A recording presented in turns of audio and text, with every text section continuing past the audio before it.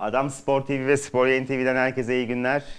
Bir gündem özel yayınıyla sizlerle birlikteyiz. Bugünkü konuğumuz sevgili Serdar Ata, hoş geldiniz. Hoş bulduk Koray Bey. Nasılsınız, iyisiniz? Teşekkürler. Sizler nasılsınız? Biz de iyiyiz, yoğun. Gördüğünüz gibi yoğun çalışıyoruz. Bugün de yoğun haberlerimiz var.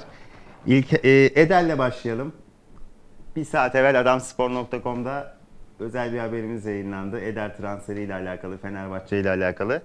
Kısaca biraz ben bahsedeyim, size yorumunuzu isteyeceğim. Bu transferde daha çok istekli olan taraf her zaman kulüpler olur ama bu sefer Eder. Eder Fenerbahçe'ye gelmek istiyor biliyorsunuz. İyi de bir oyuncu. Portekiz'de, Braga'da oynuyor. Genç de bir oyuncu ayrıca. Evet çok evet 27 yaşında çok yani yaşı yüksek forvetler transfer ettiğimiz için Artık Evet, 27 bile 20 bize e, Evet. Türk futbolunda herhalde biraz daha böyle genç olarak adlandırılıyor ki yurt dışında e, birçok ülkede şöyle söyleyeyim. E, genç futbolcu dendiği zaman akla hep 19, 18, 19, hatta maksimum 17 maksimum 20 gelir. 20'ye bile artık Evet. genç denmez birçok birçok e, durumda. E, artık Türk futbolu öyle bir hale geldi ki 27'ye aa evet genç bir futbolcu bulduk deyip Semih'ten örnek alırsak. genç mi? Semih örneği evet. Evet.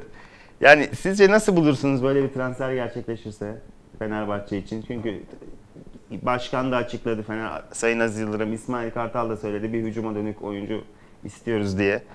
Sizce nasıl olur? Şimdi elimizdeki mevcut forvetlerimizden yola çıkıp e,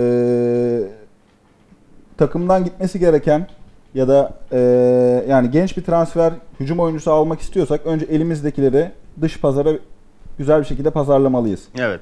E, kim olur? Emenike olur, Webo olur, iyi bir ücret verilirse Sov olur. Yani Fenerbahçe zaten misyonunu tamamlamış oyuncular bence.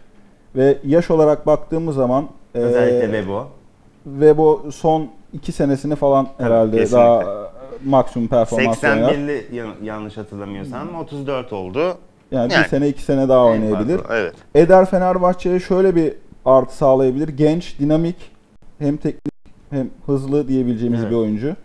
Ee, Brezilyalı olması Fenerbahçe camiasının ee, biliyorsunuz yıllardır hep bir Brezilya'dan gelen bir furya vardır. Ee, Eder'in Fenerbahçe'ye transfer olma isteğinin sebebini de ee, sizin haberinize göre Evet. açıklayayım. Ee, Alex, David ve bunun öncesinde birçok futbolcu zaten Brezilya'dan Brezilya'dan. yeterli e, kaynaktan bilgiyi almıştır Eder. Türkiye'yi, İstanbul'u, Fenerbahçe'yi ile alakalı bilgileri almıştır ve kariyerine bir yön vermek için e, böyle bir transfer isteği olabilir. Sizin de dediğiniz gibi her zaman kulüpler adım atardı. Şimdi bir futbolcudan bir adım geliyor. Evet. E, Bu da önümüzdeki, ilginç oldu. önümüzdeki günlerde izleyeceğiz Evet. neler olacak. Bu arada Eder'i tanımayanlar da var. Ama şöyle kısaca belirtelim. Eder Braga'da oynuyor. Evet. Şöyle de hatırlatma yapayım. Mesela bir e, Galatasaray'la iki sene evvel aynı gruptalardı. Burada 2-0 kazanmıştı Braga. Gollerden birinde Eder atmıştı. İyi bir oyuncu. Hani piyasası olan bir oyuncu. Gerçekten önemli bir site vardır. Siz de biliyorsunuz Serdar Bey. Orada piyasa değeri 7-8 milyon eurolarda. Yani yaş, yaş itibariyle de çok yaşlı bir oyuncu değil. 27 yaşında. Bence kaliteli bir oyuncu. Brezilya Fenerbahçe- doğumlu ve Evet. Portekiz milli takımında Tabii. Bu Dünya Kupası'nda ve önceki Avrupa Futbol Şampiyonası'nda da Şampiyonası'nda. kendisine yer buldu. Hala da grup eleme maçlarında kendisine ara ara yer buluyor.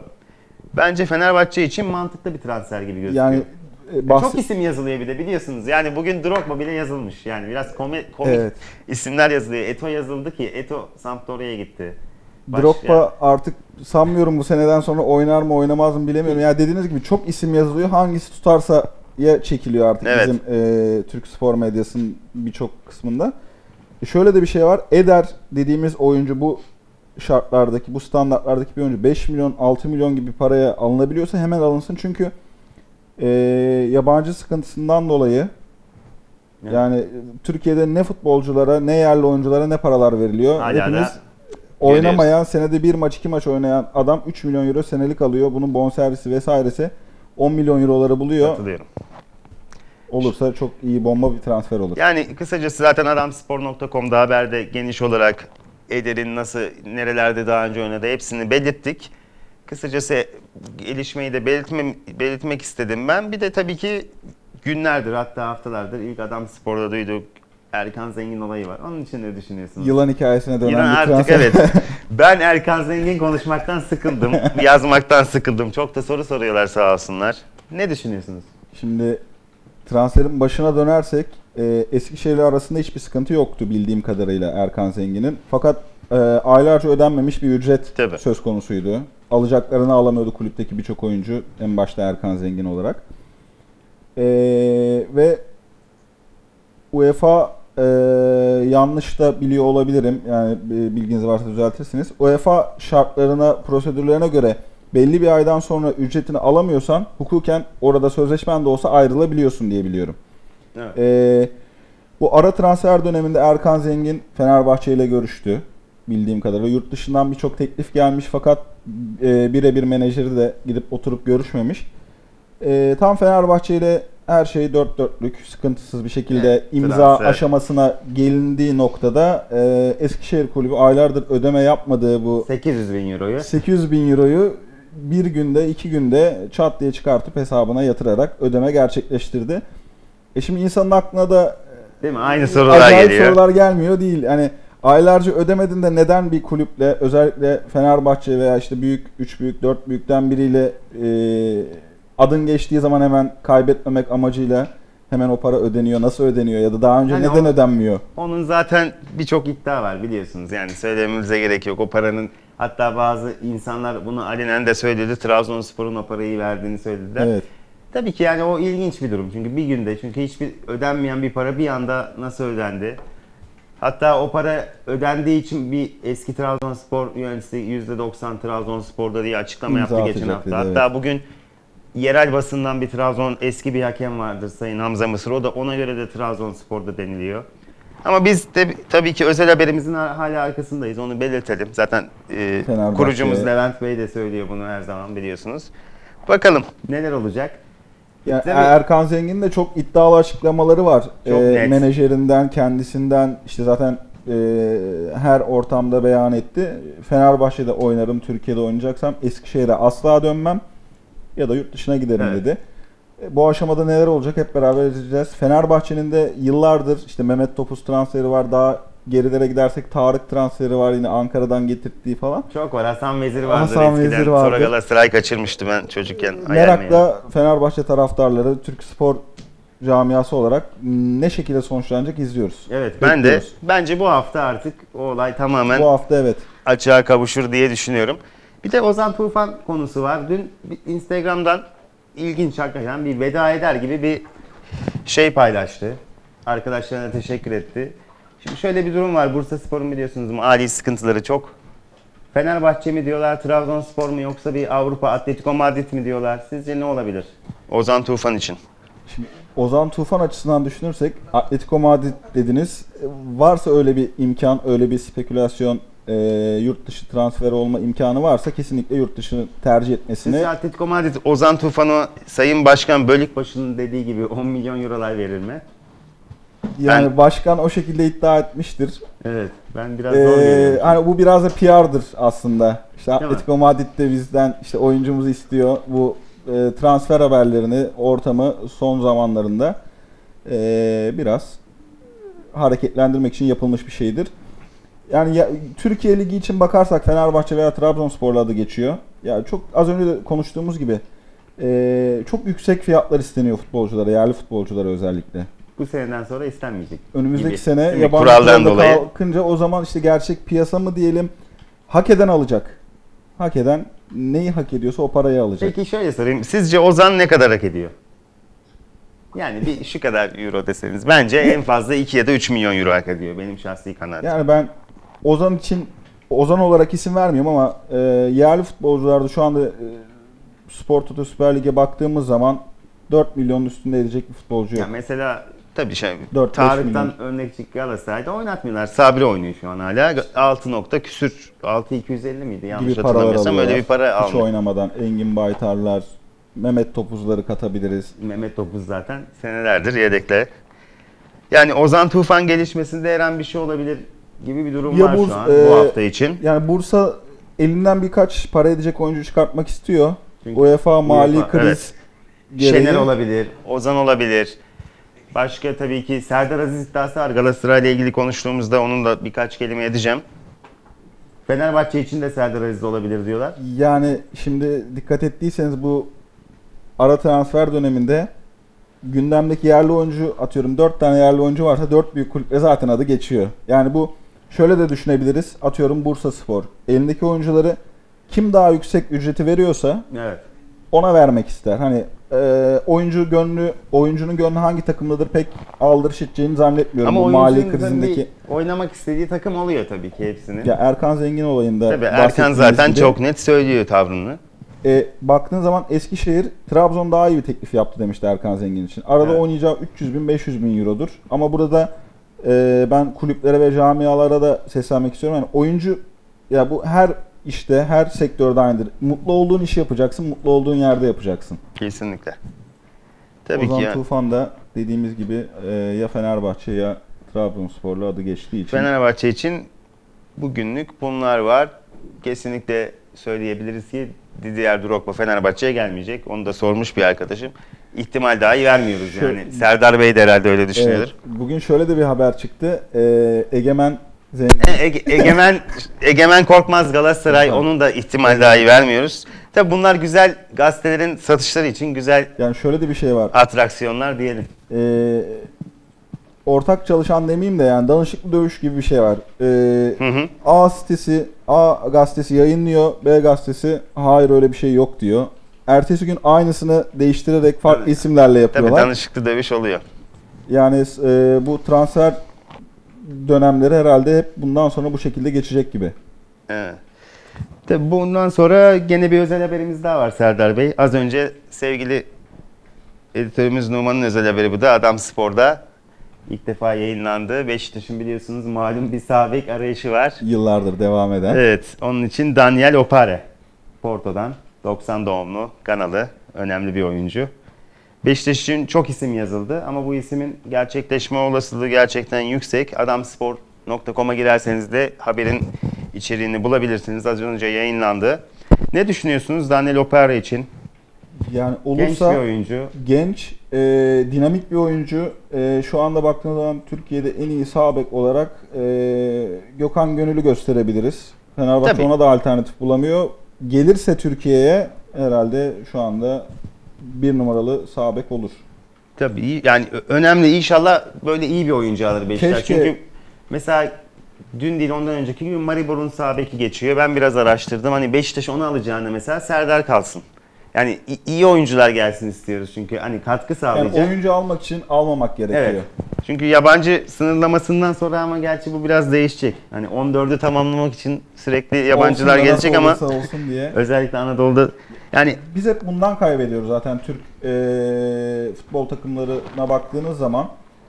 O hani artı 6 artı 1 mi? O artı 1'i dolduralım veya işte o Evet. son adamı alalım, bulunsun. Ya bulunsun diye bir şey yok. En iyisini alın. 3 tane alın koyun. evet. Yani bu şekilde olursa ya da altyapıdan futbolcu yetiştirmemiz gerekiyor. Yetiştiremiyoruz. Altyapıların durumu belli. Hiç oyuncu gelmiyor. Zaten onu konuşmamıza konuşamıyoruz çünkü oyuncu gelmiyor. Hani hiçbir takımdan gelmiyor. Bir Gençler Birliği biraz bu konuda iyi. Yetiştirip 2-3 piyasaya tane altyapıdan oyuncularını ilk 11'e taşıdılar. Peki şöyle de bir durum var. Şimdi Milosevic'i aldı Beşiktaş. E zaten iyi bir transfer. Dembaba ilk 11'i de %100 oynayacak. Tabii ki Atiba oynayacak. Sağ bek oynayacak. Ondan sonra mesela bir şu an için biliyorsunuz 5 oyuncu ilk 11'de olabiliyor. Sosa mı olacak? Motta mı olacak? İlginç bir durum da olacak. Sosa geldiğinden beri çok iyi bir performans Franco var onu unuttuk. Ne Franco olacak var. yani bu sene için söylüyorum. Öbür sene isterse 11'de Rahatlar. 11 kullanır. Ee, bu sene için Beşiktaş şampiyonluğa oynamak istiyor Süleyman Seba sezonu. Ee, Beşiktaş iyi de gidiyor. Çok Sağ bek- yoruldular. Evet, İlk- sağ bek transferinde tamamlarsa bir takıma güç gelecek. Moral olacak.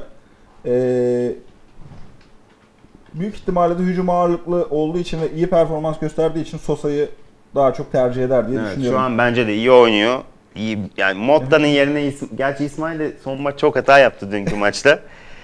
Benim şahsi kanaatim ben olsam Beşiktaş'ın yerinde hani Milosevic, Franco yapmam. Hani orada gene Ersan'la başlarım. Sağ bekte de bilmiyorum. Bazı maçlar Serdar'ı kullanıp Motta'yı öyle bir şeyler yapacaklar. Peki Milosevic gerekli miydi sence? Şu an ben geleceğe dönük olduğunu düşünüyorum. Çünkü Ersan var. Gerçi Sivok gidecek diyorlar. Sivok gidecekse belki yedek olarak aldılar.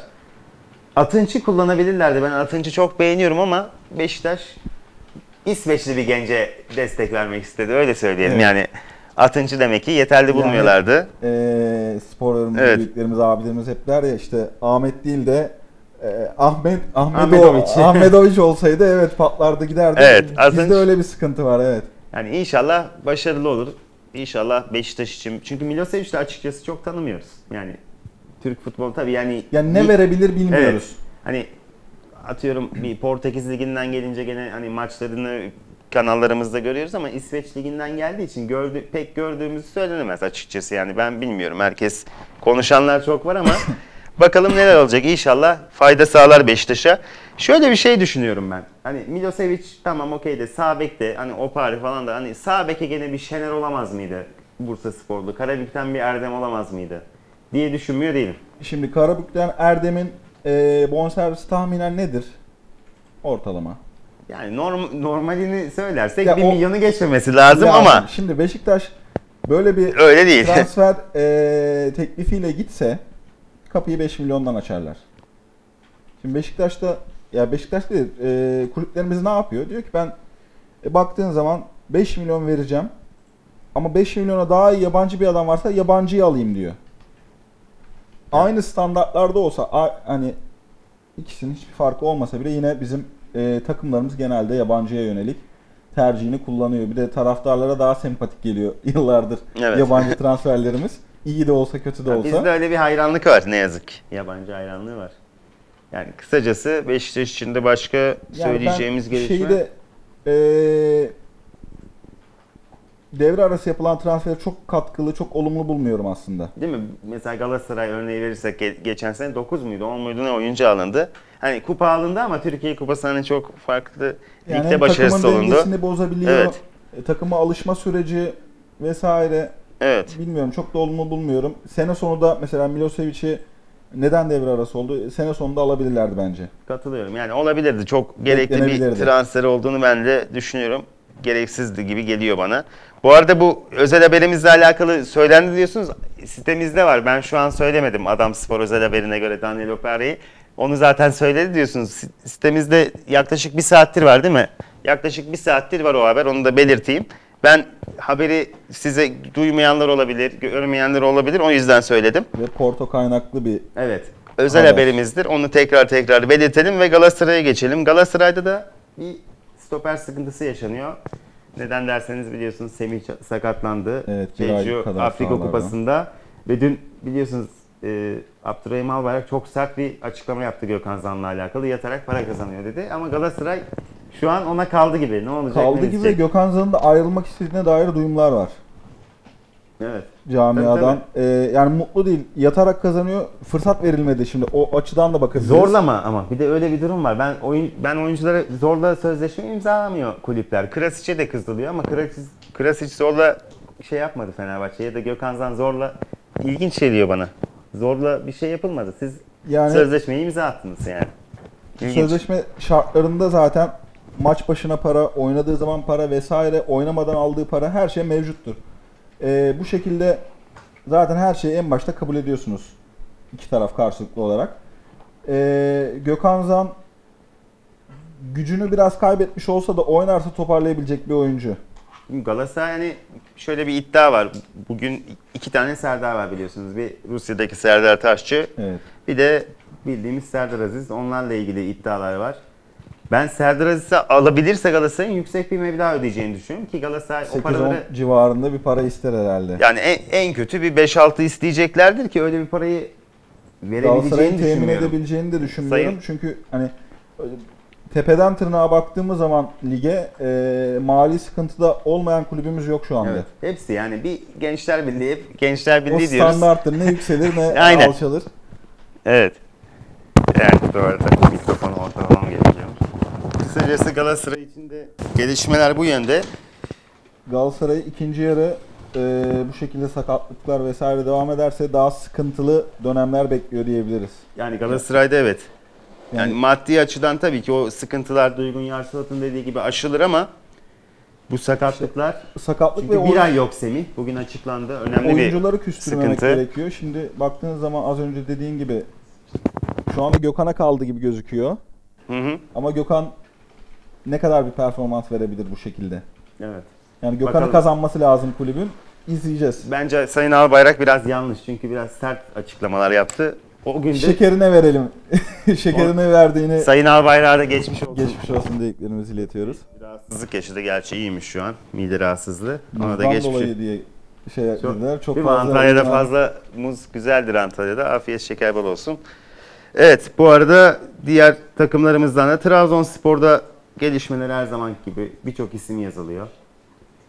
Trab- az önce şey demiştik. E, ligde A'dan Z'ye baktığımız zaman mali durumu iyi olan takım yok demiştik. Trabzon'u Ama müthiş paralar harcıyor. Trabzon'u kenara ayırabiliriz. Evet Trabzonspor'da hakikaten Sene çok iyi paralar beri. harcanıyor. Hala da harcanmaya devam edecek gibi. Çünkü hala da bir bütçeleri var sanırım. var.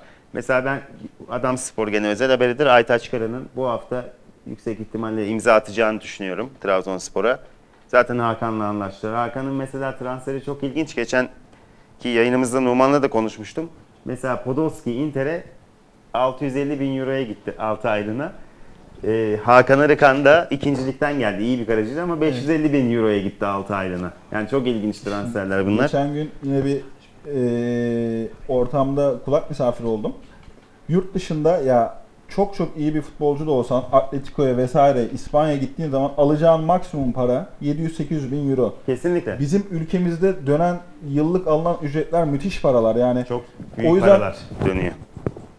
Yani akıl erdiremiyoruz. Futbolumuz bu yüzden mi gelişmiyor ya da yani bilmiyoruz. E, Katar gibi gözükmeye başladık artık yurt dışındaki birçok e, Yavaş yavaş ülkelere. yaklaşıyoruz Katar'a. Katarlaşmaya başladık.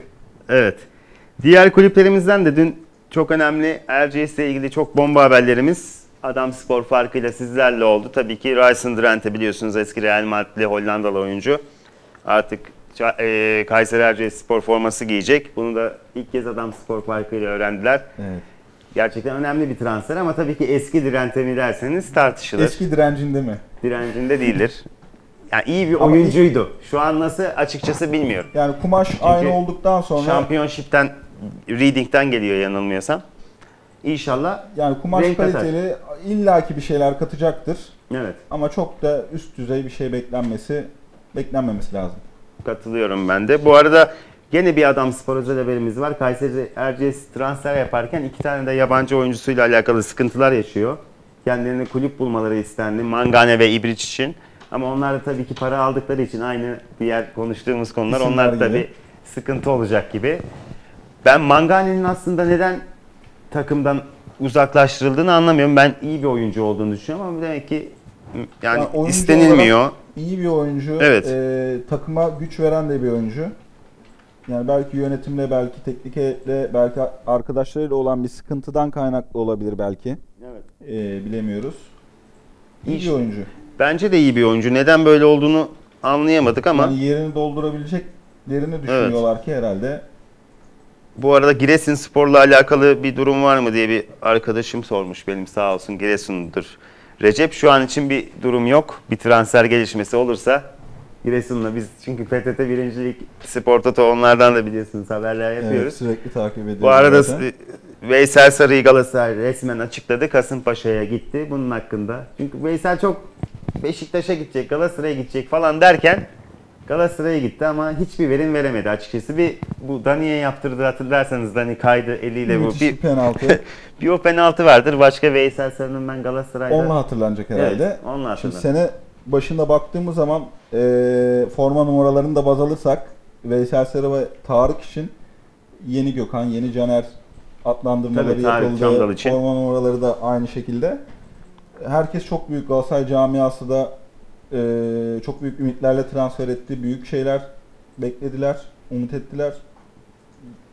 Olmadı yani neden olmadı aslına bakıldığı zaman Evet. iyi de oyuncular. Biraz kendilerini geliştirmeleri gerekiyor. Ee, ya da hep yıllardır söylenen bir şey var. İşte Anadolu'dan geldiğiniz zaman büyük takımda ayak uyduramama Evet. sorunu, alışamama sorunu. Ya öyle oldu ya da yeterli şansı bulamadılar, imkanı bulamadılar. Özellikle Hamza Hamzoğlu geldikten sonra Veysel ve Tarık tamamen takımdan Silindi. hani silindi gibi. Hani Prandelli gene kullandı onları. Veysel ama çok ıslıklandı. Çok tepki gördü taraftardan. Ben Veysel'in hani alınmasın ama iyi bir takıma gittiğini, orada daha iyi oynayacağını düşünüyorum. Yani oraların iyi oyuncusu Veysel. İnşallah başarılı olur. Gene milli İnşallah. takıma seçilebilir. Kasımpaşa da iyi bir takım. Çok az transfer yaptı. Ben daha çok bekliyordum. Bir Veysel'i aldılar. Bir de galiba savunmaya bir yabancı oyuncuyla Zaten ama kadrosu da çok iyiydi. Tabii Fritz'leri yolladılar. Viudes'le alakalı bir sıkıntı var. O... Efendim? Kolibali gitti bu arada. Yani önemli oyuncular kaybettiler. Onlar da ilk hafta Fenerbahçe ile oynayacaklar. Evet. Önemli maç onlar için de. İlk bir hafta deplasman. çok zorlu bir maç. Fenerbahçe için de bence çok önemli bu ilk 3 hafta. Bir Kasımpaşa, Karabük ve zaten. Ersun Yanal'lı Trabzonspor bence Fenerbahçe'nin geleceğini bekleyecek. Bu arada Eskişehir'le alakalı da Sikibe geldi biliyorsunuz. Ne düşünüyorsunuz Sikibe hakkında? Ben yanlış bir se- yani seçim olduğunu düşünüyorum. Türkiye'yi tanıyan bir Türk adam. Başarı Olur mu? Ee, şöyle söyleyeyim. Camiaya ve taraftara artı bir şeyler katabilir. ama Ama ne kadar uzun soluklu olur ee, onu bilemeyiz. Tabii. Ama Türkiye'yi tanıyor, futbolcuları tanıyor, sistemi, Türkiye'nin sistemi, ee, özellikle futbol sistemi baktığımız zaman yani herkesten çok ayrı tutulmalıyız. evet. Ee, bunları da bildiği için yabancılık çekeceğini zannetmiyorum. Kolay ayak uyduracak. Ee, derleyip toplar mı takımı daha iyi üst sıralara çıkartır mı? Zamanla izleyeceğiz. Evet. Tabii ki yani diğer takımlarımızda transferler devam ediyor. Biraz geç kalındı gerçi. Onlardan da bahsedersek çoğu takımımız bence geç kaldı. Hani o hazırlığı o oyuncularla beraber yapamadılar. Şimdi e, eskiden benim bildiğim kadarıyla e, devre arasına girilmeden önce zaten bu görüşmeler yapılıyor. Devre arasında noktalanıyordu. E, senin de Devre arası da daha fazlaydı. Bir buçuk ay falan sürüyordu. Şimdi 3 haftada bitiyor. Biraz hem kısaltı kısal var, kısalma var. e, hem de bu görüşmelere devre arası başlanıldı birçok kulüpte. Evet. E, böyle olunca e, şimdi zaten transfer sezonunun bitmesine az bir süre kaldı. Tabii, Kampta Şubat. olan takımlar geri dönecek. Şubat'ta bitecek. E, baktığımız zaman birçok görüşülen isim olacak. Fakat transfer edilemi- edilemeden zaman yetersizliğinden Son günlerde dolayı çok böyle transfer olur ama. Hatırlayın Fenerbahçe bir günde Emre ve Bo hemen getirdi zikleri. Çok vardır öyle. insanlar, Evet.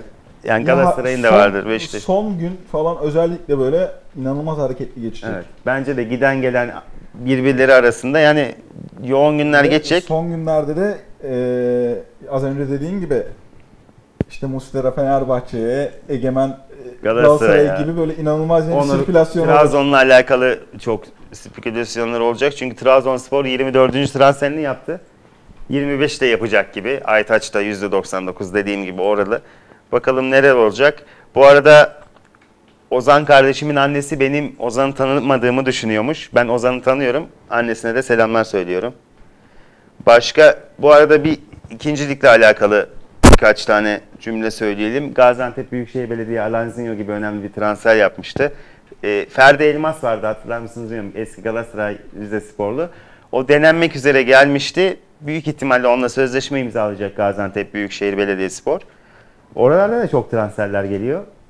Çünkü Altyapıdan şey, pardon altyapı dedim. E, ikinci ligden, alt liglerden transferler e, yani birinci lige ağırlıklı oluyor genelde bizim oynayamayanlar, spor fo- med- evet. forma şansı bulamayanlar için iki PTT birincilik bir kapı oluyor ki birçok takımda zaten Baktığın neredeyse zaman full birinci lig futbolcuların çoğu, dört büyük oyuncuların Evet. çoğu artık belli bir yaşa gelmiş oyuncular hep dediğim Alt- gibi bir PTT alt, alt ligde e, forma şansı buluyorlar ve iyi de oynuyorlar. Evet. Yani ben o, o ligi de beğeniyorum ama biraz sert oynanıyor. Çok sert. Fazla gol olmayan. Değişik Kondis- bir ko- kondisyona dayalı, biraz sert dediğin gibi. değişik bir lig PTT birincilik. Yani Sü- Süper Lig'le farklı. Süper Lig'de sert ama oranın şeyi çok farklı. Havası, Oradan da atmosferi. oradan kimi şanslı görüyorsunuz birincilik için? Yani şöyle bir şey. e, üst ligden yani Spor Toto'dan birinci lige düşen bir takımın ben aynı sene çıkabileceğini zannetmiyorum. Çok zor. Ama iyi Çok gidiyor. karışık aşağısı. Ee, Kayseri Spor ve Antalya geçen sene düşmüştü. Bu sene iyi Ben gidiyorlar. Antalya'nın düşmesine de çok şaşırdım geçen sene. Ee, bu sene inşallah çıkar diye umut Ben ediyoruz. evet ben de Antalya'yı istiyorum. E, yıllardır belki hepimiz belki sen de e, İzmir'den bir Değil takım mi? istiyoruz birinci. İzmir ve Adana. Adana da aslında öyle. Adana'dan Adana da inşallah. olabilir. İzmir'den Kayseri olur. Şey, İzmir'den Karşıyaka olur. Buca var Göztepe gerçi olur. zor ama. Buca'nın biraz daha zor Evet. evet. Yani inşallah gelirler ama benim tahminim Kayseri Spor, Osmanlı ve Antalya Spor arasında geçecek. Osmanlı çok hareketli. İyi gidiyorlar. iyi gidiyor. Hoca değişiklikleri oldu onlarda sürekli. Yılmaz Hoca Evet. geldi gitti, Uğur Hoca geldi şimdi de. Ona da başarılar diliyoruz. Kısacası böyle bugünlük gündemimiz. Basketbol konuşmayacağız. Basketbol yayınlarımız perşembe olacak onu da söyleyeyim. Onu da sormuşlar basketbolla alakalı. Sadece All Star'da Avrupa takımı kazandı. Arroyo MVP seçildi ki Arroyo MVP seçilsin diye her şey yapıldı yani. Neredeyse 45 dakika 50 dakika olsa oynatılacaktı. Onda o da ilginç bir durumdu. Neden öyle olduğunu ben anlayamadım çünkü bazı oyuncular hiç oynatılmadı. Smaç yarışma- yarışmasında Kenny Gabriel Pınar Karşıyaka'dan kazandı. Üçlük yarışmasında, yarışmasında- e, İBB'den Jenkins kazandı. İnanılmaz bir yüzdeyle kazandı. Evet. Ben mesela şey Şurna ve Gatlık'ın finale kal- kalacağını düşünüyordum ama ilginç bir şekilde çok kötü bir performans Evet. sergiledi. ikisi de kötüydü. Şurna ikinci tura kaldı ama ondan da beklemediğim seviyede kötü attı. Ya gerçi bu şov amaçlı. Bunlar şov şova yönelik şeyler. Güzel oldu. Ve Ankara'da unutmadan onu da bildirelim. Ankara'da oynanan basket ve futbol müsabakalarının özellikle basket salonlar hep full çekiyor. Evet, çok güzel bir şey. Yani İstanbul'da da gerçi Fenerbahçe oturtmaya başladı. Bir 4000 küsür kombinesi var. Sabit olarak. Zaten Avrupa maçları full çekiyor. Efes'in de iyi bir, Galatasaray'ın da fena değil Avrupa maçları. Basketbol bu sene güzel. Yani ben hep söylüyorum, öneriyorum. Basketbol maçlarına gidin, zevk alın diye. Çünkü hem ligimiz güzel hem Avrupa'da Euroleague ve Euro Cup'ta müthiş takımlarla Ve karşılaşıyorlar. son yıllarda futboldan iste, e, istediğini bulamayan birçok taraftarımız da artık Evet. baskete yönelmeye başladı. Evet daha hele özellikle son periyotlar, son dakikalar hangi takım olursa olsun Evet, inanılmaz çekişmeli geçiyor. evet. Kısacası bugünlük bu kadar diyelim. Çok teşekkür ederiz Serdar Bey. Renk Biz kattınız. teşekkür ederiz. Her zaman bekleriz Ee, adam, Adam sporu. Spor'u internetten özellikle Twitter'dan son dakika özel haberleriyle takip ediyoruz. Ee, değerli takipçilerimize, arkadaşlarımıza, eşimize, dostumuza da öneriyoruz.